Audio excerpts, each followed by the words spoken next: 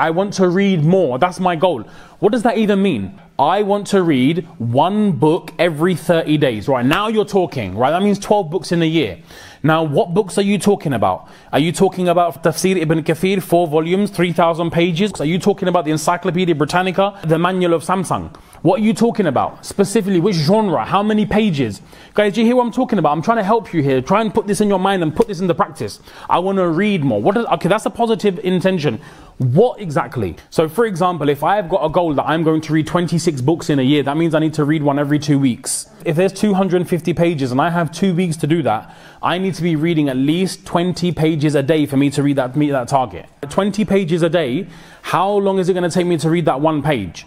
If it takes me a minute and a half, that means I need a minimum of 30 minutes undisturbed reading every single day, put into my timetable where hook or crook, this is what I'm going to do, and you fit that time in.